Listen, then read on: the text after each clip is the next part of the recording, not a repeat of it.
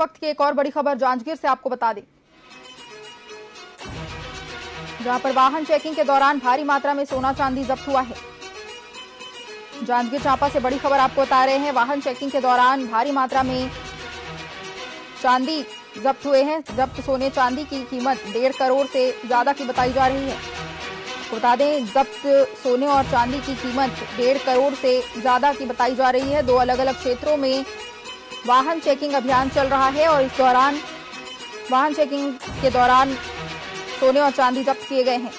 बिना वैध रसीद लिए सोना चांदी लेकर जा रहे लोगों को पकड़ लिया गया है। बड़ी खबर आपको जांजगीर चांपा से बता रहे हैं, जहाँ पर वाहन चेकिंग के दौरान भारी मात्रा में सोना चांदी जब्त किया गया है।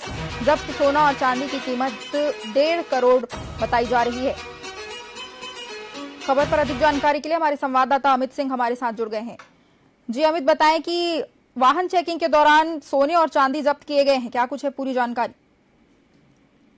जी, मैं आपको बता दूँ कि जांजगीर में जो है वाहन चेकिंग के दौरान दो अलग अलग वाहनों से लगभग एक करोड़ अस्सी लाख के जो है सोने चांदी जब्त किए गए हैं।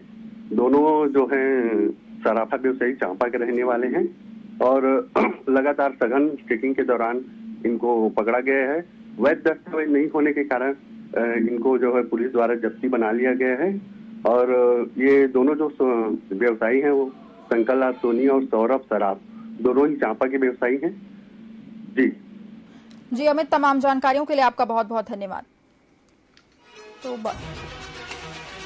जांजगीर चांपा से बड़ी खबर आपको बता रहे हैं, जहाँ पर दो अलग अलग क्षेत्र में वाहन चेकिंग अभियान चल रहा था और इस दौरान भारी संख्या में सोने और चांदी जब्त किए गए हैं। जब्त सोने और चांदी की कीमत डेढ़ करोड़ से ज़्यादा की बताई जा रही है।